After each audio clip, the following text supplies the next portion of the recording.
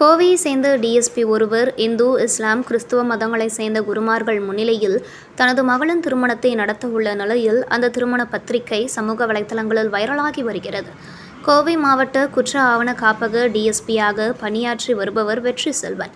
இவர் கடந்த சில ஆண்டுகளுக்கு முன் கோவையில் எஸ்ஐசி எனப்படும் மதம் தொடர்பான பிரச்சினைகளை கண்காணிக்கும் சிறப்பு நுண்ணறிவு பிரிவில் பணியாற்றியுள்ளார்.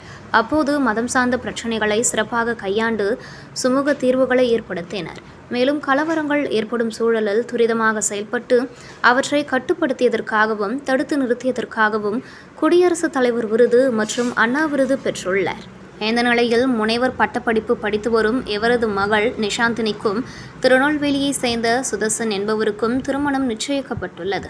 இந்த திருமணத்தை மும்மதங்களை சேர்ந்த மதகுருமார்கள் முன்னிலையில் நடத்த முடிவு செய்துள்ள வெற்றி செல்வன் பேரூர் ஆதீனம் சாந்தலிங்க அடிகளார் கௌமார மடாலயம் ராமநாத் குமரகுரு பரசுவாமிகள் காமாட்சிபுரி ஆதீனம் சிவலிங்கேஸ்வர சுவாமிகள் கோவை கத்தோலிக்க மறை மாவட்ட ஆயர் தாமஸ் அக்குவெனாஸ் போத்தனூர் மச்சிதே இப்ராஹிம் சுன்னத் ஜமாஅத் இமாம் அப்துல் ரஹீம் இப்தாதி பகாவி ஆகியோர் பெயர்களை தனது மகளின் திருமண அழைப்பிதழில் இடம்பெற செய்து அசத்தியுள்ளார் இந்த அழைப்பிதழ் சமூக வலைதளங்களில் வைரலாகி வரும் நிலையில் மதங்களை கடந்து மகளின் திருமணத்தை நடத்த வேண்டும் என்ற முனைப்புடன் திருமண அழைப்பிதழை அச்சிட்ட மூலம் மத நல்லிணக்கத்திற்கு எடுத்துக்காட்டாக திகழும் டிஎஸ்பி வெற்றி செல்வனுக்கு பாராட்டுக்கள் குவிந்து வருகின்றன.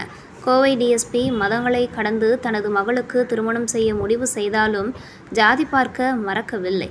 தனது சொந்த ஜாதியை சேர்ந்த மாப்பிள்ளையை தேடி பிடித்து தனது மகளுக்கு அவர் திருமணம் செய்து வைக்க இருப்பதாக அவருக்கு நெருக்கமான வட்டாரங்கள் தெரிவித்தனர்.